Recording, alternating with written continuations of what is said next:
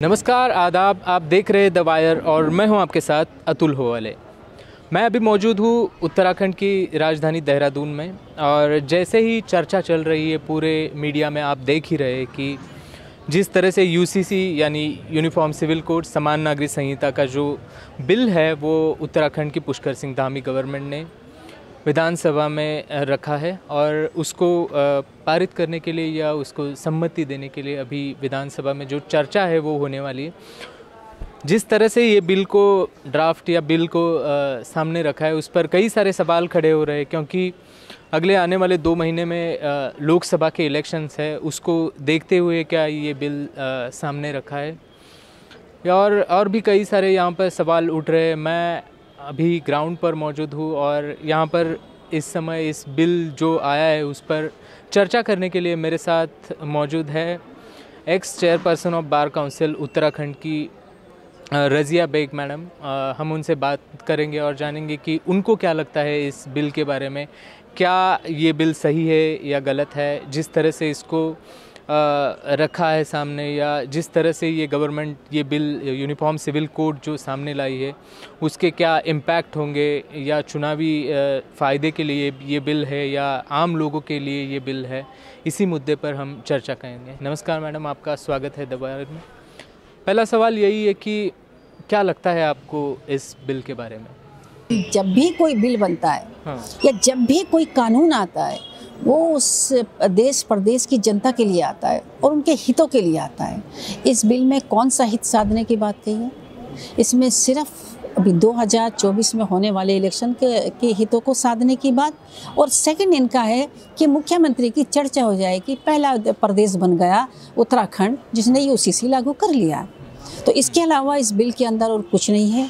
और दूसरा, इनका एक जो हिडन एजेंडे की मैं बात कर रही हूँ, वो बात है इनकी कि एक समाज को टारगेट किया जा रहा है उसमें। यानी टारगेटेड लॉ बन रहा है।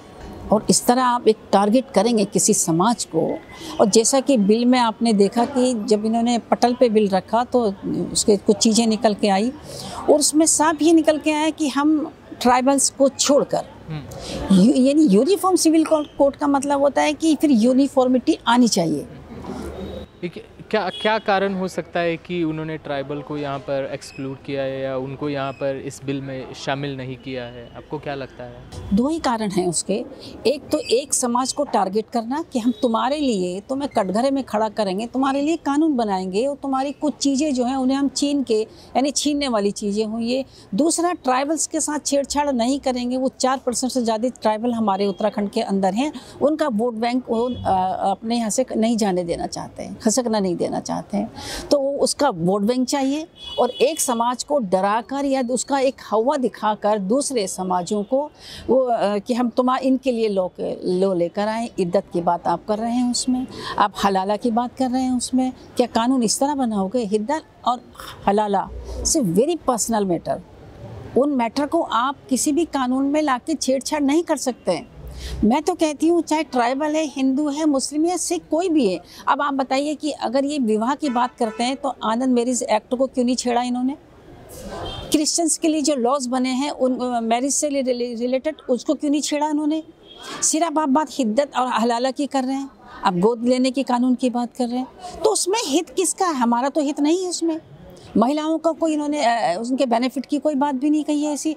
तो फिर काय के लिए भी लेकर आए? ये जो कमेटी बनाई गई थी, पाँच लोगों की, पाँच सदस्यीय कमेटी बनाई गई थी, उस पर भी कई सवाल उठ रहे हैं, क्योंकि जो माइनॉरिटीज़ कम्युनिटीज़ है, उनके रिप्रेजेंटेटिव उसमें शामिल नहीं थे। ऐसे भी आरोप लगाए जा रहे हैं कि ये एक तरफा जो कमेटी ने रिपोर्ट जो है वो सामने रखी है या सामने ला आम जनता को क्या इस, क्या लगता है मतलब आम जनता की राय लिए है?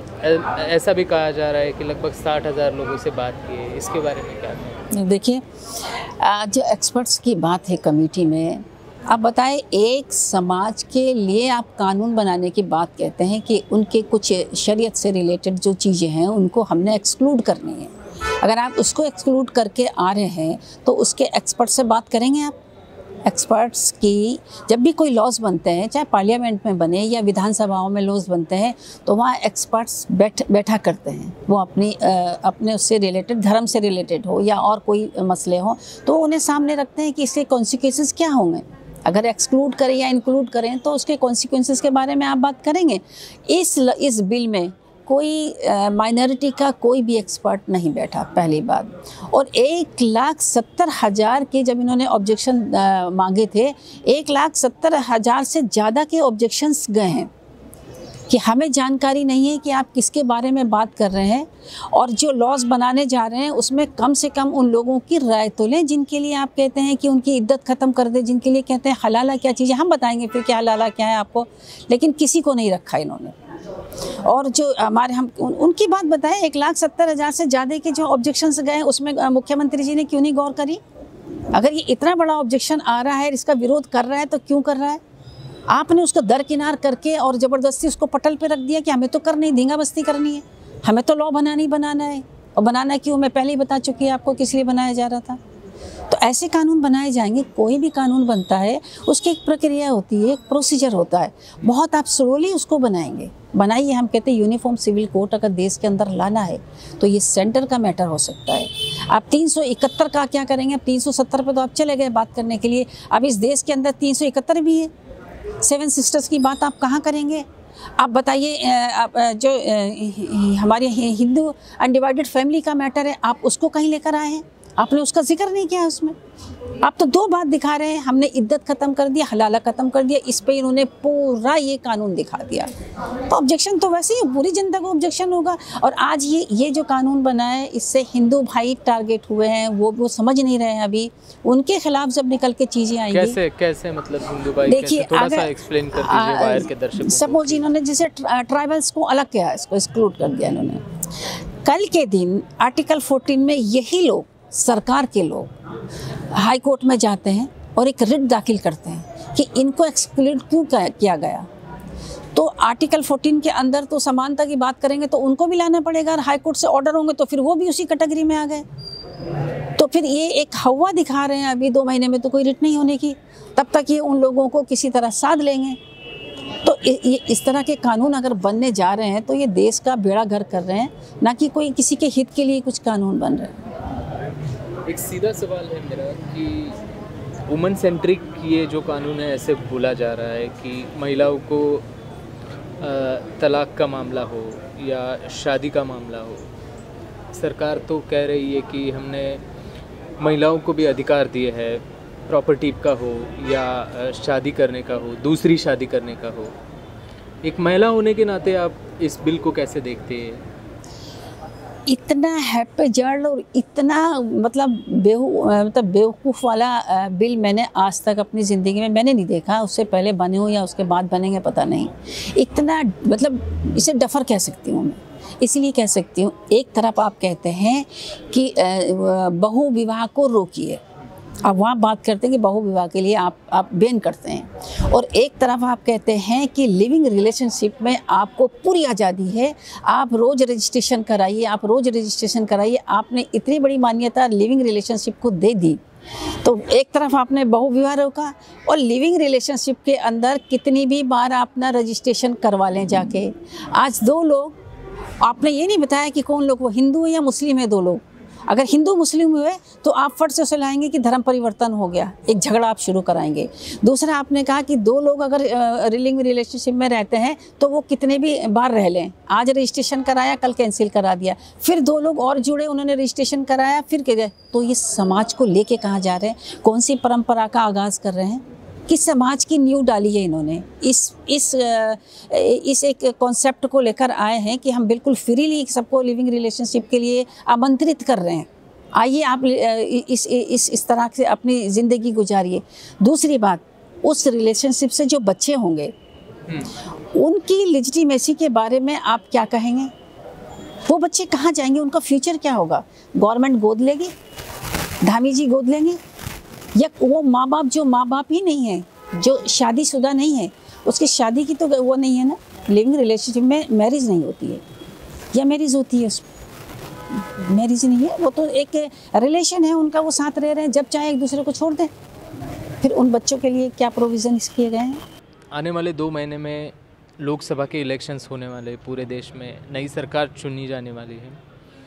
क्या इसको मद्देनज़र रखते हुए मतदाताओं को आकर्षित करने के लिए ये बिल रखा गया है या एक बेस तैयार किया गया है। क्योंकि कल भी हमने देखा कि जिस समय मुख्यमंत्री ने ये बिल जो है वो विधानसभा में रखा, तब जय श्री राम के नारे है जो विधानसभा में लगाए गए। बिल्कुल, मैंने तो शुरू में ही कहा आपसे कि ये टारगेटेड लॉ है, जो इंट्रोड्यूस किया जा रहा है टारगेटेड है। और एक समाज को ये दिखाने के लिए कि दूसरे समाज ठीक मैंने, मैं बार बार एक बात कहती हूँ कि एक पर्टिकुलर माइनॉरिटी को ये ये दिखाते हैं कि देखो इनके, इनको हम मार रहे हैं। और दूसरा समाज उससे खुश हो रहा है। कुछ लोग, चंद लोग, पूरा भारतवर्ष ऐसा नहीं है। लेकिन चंद लोग जो, जैसे आपने बताया कि ऐसे नारे लग रहे हैं, ये लग रहे हैं सब लोग। तो ये तो सेकुलर स्टेट के अंदर तो ये होता नहीं है कभी भी। लेकिन हो रहा है। पूरे भारतवर्ष में हो रहा है। तो उनको ये दिखा कि देखो हम इन्हें अदमरा कर रहे हैं, इनके सारे लॉस हम हम ख़त्म करने जा रहे हैं। तीन तलाक का मसला हुआ था, जबकि हदीस और कुरान शरीफ में और शरीयत में पहले से ही वो चीज़ें हमको मुहैया कराई हुई हैं। वो चीज़ें एक डफर कानून बना के आज भी डफर कानून बना दिया है। तो निश्चित तौर पर पोलराइजेशन होगा, चाहे दो परसेंट का पोलराइजेशन हो। 2024 में होने वाले पार्लियामेंट के इलेक्शन में इनको उसका थोड़ा बहुत बेनिफिट मिल सकता है।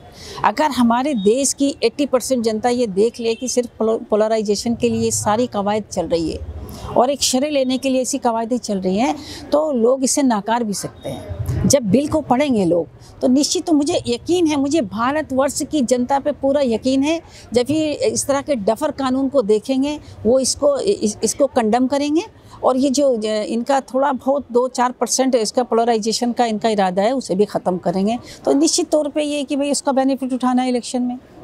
अपने हित साधने हैं। आप पूरे देश के अंदर अगर हम ये नहीं कहते कि किसी देश के, किसी धर्म के किसी धर्म को आप बुरी नज़र से देखें, आप सबको इज़्ज़त से देखें। अब हमारा हिंदू हिंदू धर्म है, हम उसको भी इज़्ज़त से देखते हैं, मुस्लिम धर्म है, उसे भी इज़्ज़त से देखते हैं, दूसरे लोगों का धर्म है उसे भी देखते हैं, क्योंकि हमारा कॉन्स्टिट्यूशन है, इसकी हमको इजाज़त देता है।